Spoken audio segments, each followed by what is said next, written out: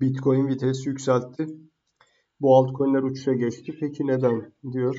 BTC'deki yükselişten aynı zamanda burada da bir takım kripto para ve altcoin'lerden bahsediyor. Biz de buna göz atacağız ve duruma ilişkin konuşacağız. Bakalım. Dünyanın en büyük kripto para birimi olan Bitcoin 24 saatte %3'lük kazanç elde etti. Bu arada dünden bahsediyor.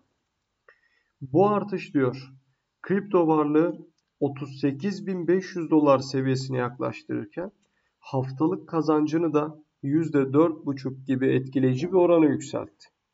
Bununla birlikte dikkatler sadece fiyat hareketinde değil. Zincir üzerindeki veriler Bitcoin'lerin borsalardan önemli bir hareketini ortaya koyuyor ve potansiyel bir yükseliş katalizörüne işaret ediyor. Detayları inceleyelim. Burada bahsettiği şey özellikle dün biliyorsunuz 38.500 e, noktalarına BTC tarafında sert fiyat yükselişleri gördük. Burada zaten BTC'nin ne kadar güçlü olduğunu epey bir zamandır biliyoruz.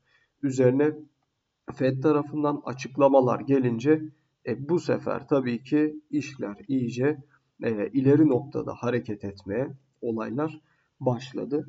Waller'ın açıklamaları piyasaya ciddi bir güven pompaladı ve BTC fiyatlarında da aslında beklemediğimiz ve absürt gibi duran bir zaman diliminde yükseliş oldu. Aynı zamanda hemen hatırlatalım. Yarın akşam saat 19.00'da Fed Başkanı Jeremy Powell konuşacak. Son veriler ışığında bunun da pozitif olmasını e, beklemekteyiz. Bu da tabii ki tam da aralığa girdiğimizde piyasaya ciddi bir güven sağlayabilir. Borsalardan devasa Bitcoin çıkışı, borsalardan Bitcoin çıkışı demek cüzdanlara çekim var. Uzun vade tutma konusunda e, yatırımcılar ve balinalar hareket ediyor. Yani elde tutma oranlarında bir artış, borsalarda piyasa derinliğinde düşüş, dolayısıyla fiyatların yukarı yönlü e, gidebilmesi durumu söz konusu. Piyasa derinliği düşüşü size anormali anlamına gelmesin. Anormali şeklinde değil. Mesela Binance US problem yaşadığında biliyorsunuz. Müşteriler e, sıkça çekilmişti. Anormal diyebileceğimiz çakılma noktasında düşen bir piyasa derinliği oldu. Bunun sonucunda BTC fiyatı 138 bin dolara patlamıştı. Benzer bir durumu Gemini borsasında XRP'nin 100 dolara kadar çıkışında da e, buradaki bu bozulmaları e, görmüş olduk. Zincir üzerindeki veriler borsalardan önemli miktarda Bitcoin çıkışı olduğunu ortaya koydu. Ayrıca bunun son 5 yılın en düşük seviyesine ulaştığını gösteriyor. Bu eğilim Binance'ın 4.3 milyar dolarlık anlaşması ve Coinbase'in Bybit'in türev ticaret platformuyla yaptığı anlaşmalar nedeniyle CFTC mahkeme celbiyle karşı karşıya kalması gibi son olaylarla borsaların azan itibarına e, bağlanıyor diyor. E şimdi şöyle bir durum var. İki tane ana etmen. Bir tabi borsalardan çıkış var. İki cüzdanlara e, geçiş durumu söz konusu. Tabi hangisinin kalıcı, hangisinin uzun vadeli e, olduğuna yönelik tam olarak bizim karşımıza bir e, cevap gelmiyor. Onu da net bir şekilde ifade edebiliriz. Şimdi zaten çekim konusunda hareketlerin sıkça yaşandığı, BTC'nin oldukça pozitif olduğu bir zaman diliminde dediğim gibi bu niyet okumayı tabii ki yapamıyoruz ikisi arasındaki ayrım. En büyük 10 Tether borsa cüzdanı 15,23 milyar dolarlık toplam değere sahip. Ayrıca bu da 17 aydaki en yüksek borsal güç seviyesini işaret ediyor. Dinamiklerdeki bu değişim kripto para varlıklarının değişen görünümünü etkiliyor. Ayrıca piyasa eğilimleri üzerindeki etkiler hakkında sorular ortaya çıkarıyor. Yakın zamanda en büyük Tether cüzdanlarının BTC alımı yaptığını görmüş olduk hatırlarsınız. Bu olay üzerine de bu durum üzerine de uzunca konuşmuştuk. Tabi bu da BTC ve piyasa geneli için oldukça sağlam bir durum.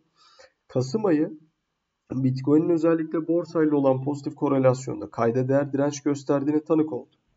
Analistler bu elimi yakından takip ediyor. Zira Bitcoin'in borsadan bağımsız olarak yükselişe geçmesi yerleşik normlardan önemli bir sapma işaret edebilir. Yani potansiyel olarak yükseliş eğilimine geçi işaretleme potansiyeli var. Borsaları hedef alan düzenleyici eylemlere ve Spot Bitcoin ETF için onay alınmamasına rağmen 38 bin doların üzerine çıktı yatırımcılar 37.9 bin dolar civarında destek bularak yükseliş eğilimini sürdürüyor. Bu sırada kritik destek bölgesi 35.6 binlerde düşüş hareketi konusunda endişeler devam ediyor. Vallahi e, böyle bir düşüş olacağını şu an ben pek zannetmiyorum. Biliyorsunuz aylık kapanış artık gece itibariyle e, aylık kapanış da geliyor. BTC şu an için düzgün noktalardan destek almaya devam ediyor ve sürekli tıkır tıkır tıkır tıkır e, yükseliyor. E, yarınla birlikte de piyasada bir güven ortamı oluşacak olup aralık içerisindeki yükselişlerini devam ettirebilir. Yani bu kadar süre pozitif ve yüksek hareket eden BTC'nin e, aralıkta havlu atacağını ne yalan söyleyeyim pek fazla düşünmüyor ve mantıklı bulmuyorum. Analistler neler diyor? Piyasadaki dalgalanmaların ortasında stoktan akış modelinin yaratıcısı Plan B'den yorum geldi. 35 bin doların altına düşmeyeceğine dair güvenini ifade ediyor. Katılıyorum, doğrudur. Ee, ben de o şekilde düşünüyorum. 38 bin dolar civarında seyrederken piyasa spot Bitcoin ETF'lerin onaylanması ve 2024 sonuna kadar 100 bin dolarlık Bitcoin öngören Standard Chartered gibi küresel finans kuruluşlarının görüşleri de dahil olmak üzere potansiyel gelişmeleri bekliyor. Doğrudur. 100 e, bin dolar bence 2024'ün ilk yarısı içerisinde de e, karşımıza gelebileceğini ben düşünüyorum. Çok zor bir fiyat hedefi değil aslen. Bazı altcoin projeleri yükseliş yaşadı. Bu sırada Solana'nın sol tokenları Layer 1'lar arasındaki kazançlara öncülük etti.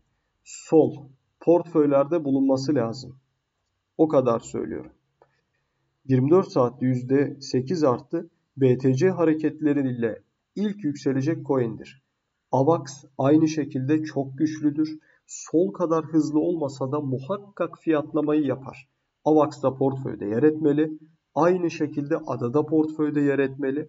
İstikrarın, güvenin bir numaralı temsilcisidir ada. TRX'i önermiyorum. Waller'ın son verilerin ekonomide yavaşlama olduğunu gösterdiğini söyledi. Enflasyonda devam eden ılımlılığın mevcut politikaların doğru noktada olduğunu gösterdiğini belirtti. Böylece salı günü geç saatlerde Bitcoin ivmesi yükselmeye başladı. Waller ayrıca enflasyon düşmeye devam etmesi halinde olacakları da açıkladı. Zira bunun birkaç ay içinde faiz indirimine gidilmesi için iyi bir argüman olduğunu söyledi. Kesinlikle piyasadaki en önemli ve en sağlam olaylardan bir tanesi şu an Fed'in faiz indirimine doğru hareket ettiğini biliyor olmamız. Fed'in faiz indirimi belli ki bir süre önce düşündüğümüzden çok daha erken bir şekilde gelecek. İzlediğiniz için teşekkür ediyorum. Abone olup videoyu da beğenebilirsiniz. Bol kazançlar diliyorum herkese. Hoşçakalın.